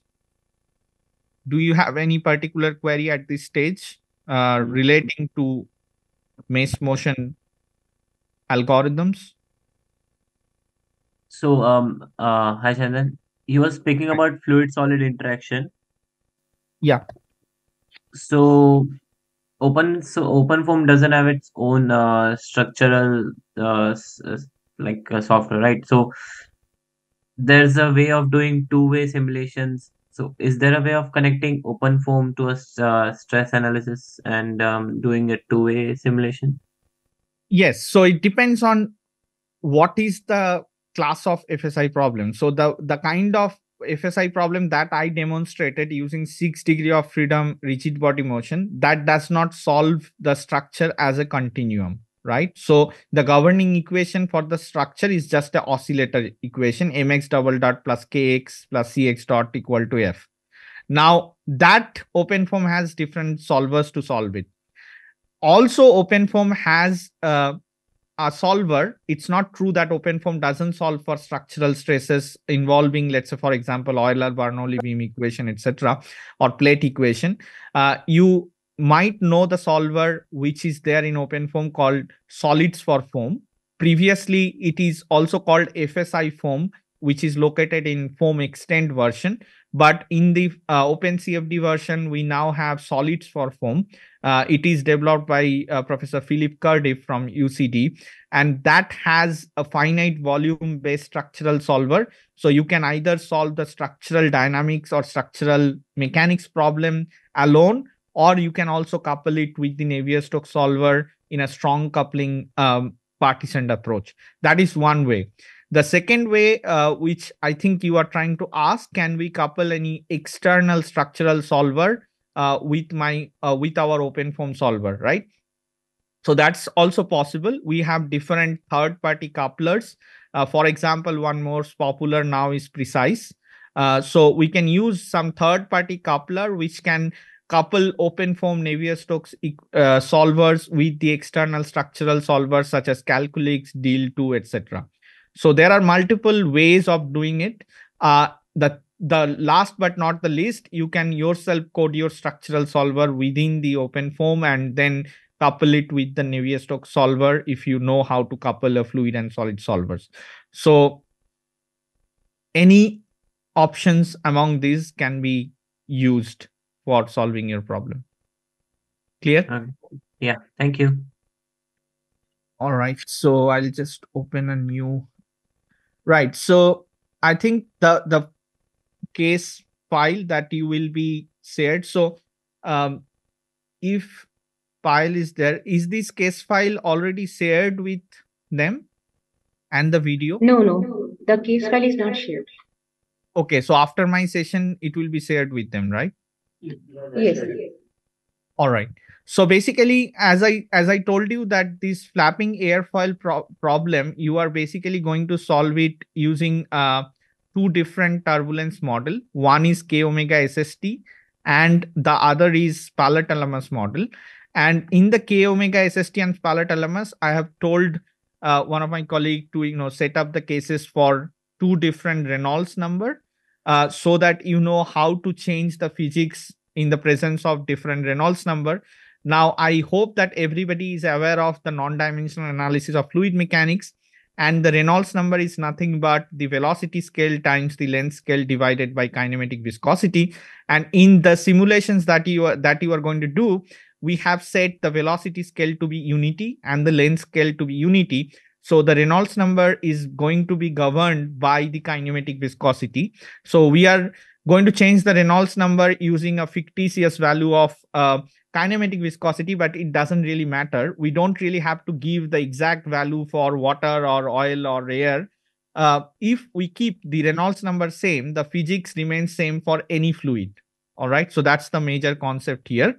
And so we set the Reynolds number by Reynolds number equal to length scale 1, velocity scale 1. So Reynolds number is just the inverse of kinematic viscosity.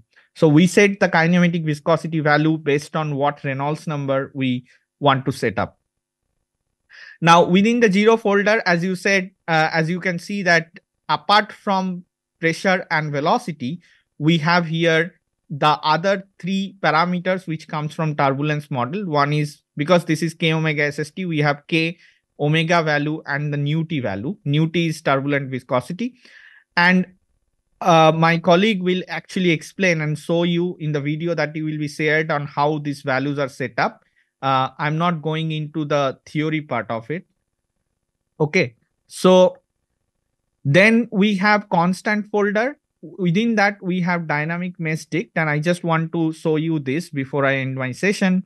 We are using a particular motion solver, let's say interpolating solid body. Within that, we are using oscillating, rotating motion and our patch is in the mesh named as airfoil. We are giving a coefficient of mass there, I mean the pivot point, and then we are actually giving the oscillating rotating motion, uh, which has an amplitude, uh, which has an origin, an amplitude, and the omega. Okay, so these values can be changed, and you can change these values to change your kinematics and see what type of mesh motion you use. Uh, and then in the momentum transport file in the foundation version has the model of turbulence, which is k omega SST.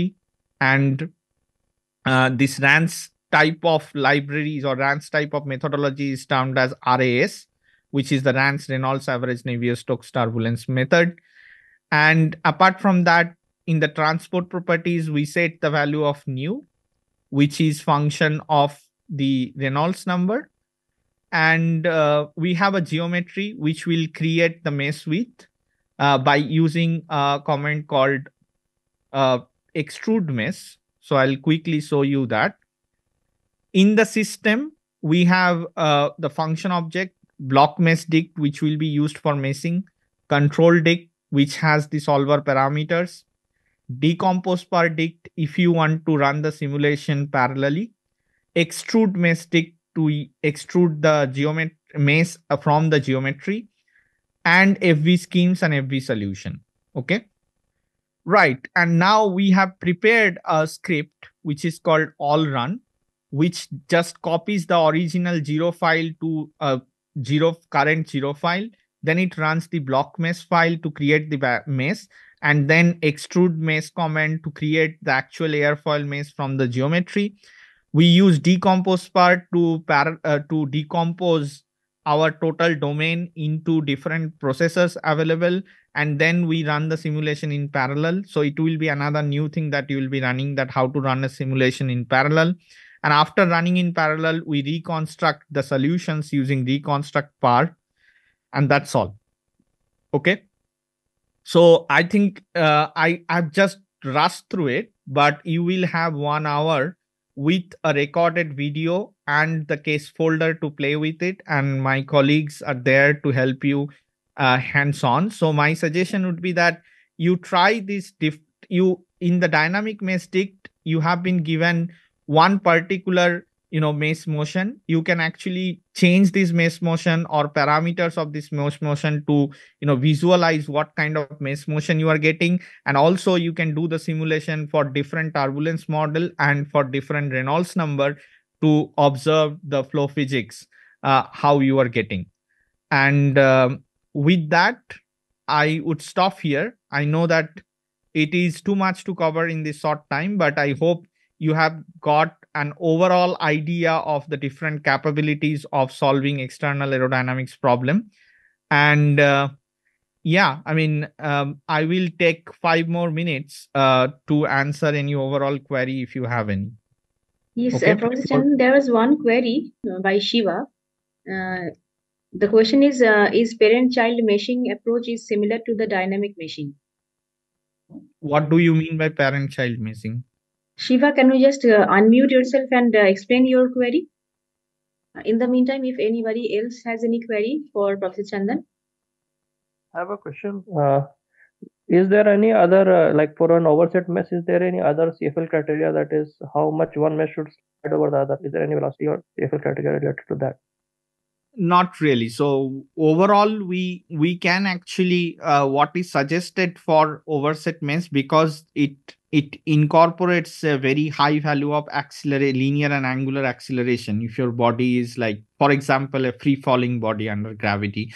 So in those cases what i my suggestion is that you can start the simulation with a very low cfl number or a very low time step and slowly as the as the solution gets stable you can increase it on the go like with time you can actually manipulate your cfl number or the time step while uh, the solution has reached a stable value.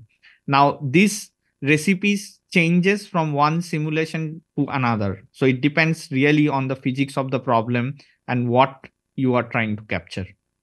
Yeah thank you uh, my question is regarding turbulence. So, how do we initialize the values of uh, k, omega, and uh, nu t and all? Yes, so that I didn't explain because my colleague Harish is here. So, uh, you will be given the video, uh, a recorded video of the tutorial of the case folder that you have been shared with, where he has explained step by step how to set up those values, initial and boundary values, and then um, you can do it but I can quickly share my screen and show you uh, how you can do it. Um, I, we don't have much time, but uh, still, I wanted to show it.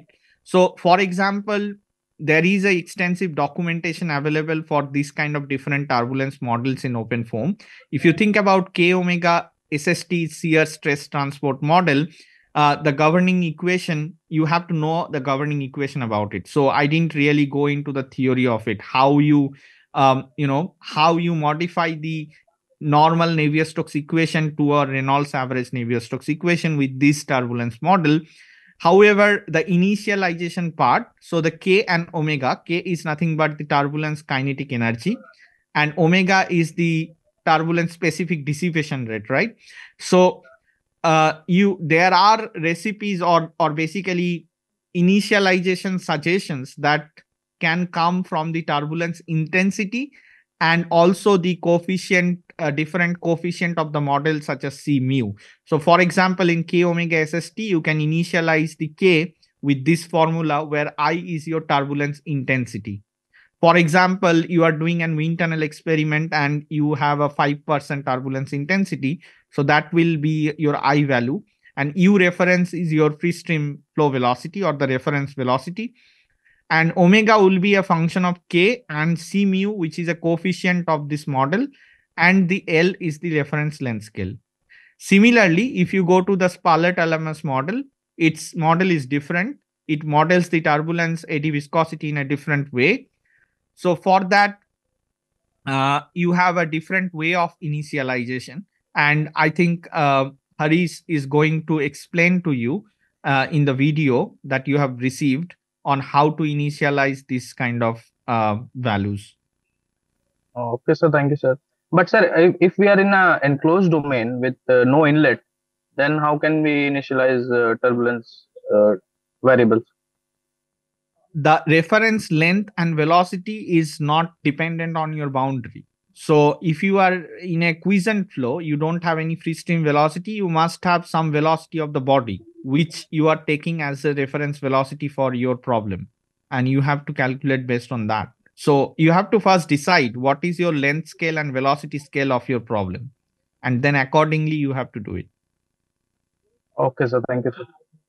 Sir Okay. if we don't have any intensity data with us so like we are not conducting any experiment then uh, is there any empirical relations so that we can find out the no you have to assume one. You have to basically go to the literature and understand uh, if you for i mean it depends again what is your problem right? If it's a flow past a rotating or pitching airfoil you can go through literature and see when they have conducted experiments depending on the blockage of the wind tunnel or uh, water tunnel or whatever depending on the experimental setup what is the range of turbulence intensity that you might get. When you are doing simulation it's a theoretical um, assumption right? Unless you are comparing or validating your simulation with respect to an experiment. So i would say that in wind tunnel or an water tunnel uh, plume you can use 5 5% of your tur- 5% to 10% turbulent intensity. So this should be an input parameter. There is no But, empirical sir, relationship about high turbulence involved like in turbo machinery or rotating machineries then i think input turbulence may be different from what we have intensity uh, exactly. So so it it will vary from one problem to another. So you have to think about the physics first and what should be the incorporated turbulence intensity. So we have to validate for different intensities then yes okay thank you Okay, so with this, I think it's time to move ahead and uh, start the hands-on session. And uh, I would really like to thank you, Dr. Chandan, for this uh, interesting session. I hope all the uh, participants have immensely been benefited by your uh, lecture. Thanks a lot for joining. Thank you. So I will leave the session. Uh, Mhm. So Harish, uh, I hope Harish has already uh, trivially explained everything in the video, and uh, he's here to help you all. But if you have any specific questions, uh, you can email me also. Thank you, everyone. I hope it was um useful to you. Yes, definitely. I think it was. Thank you, Professor Chandan.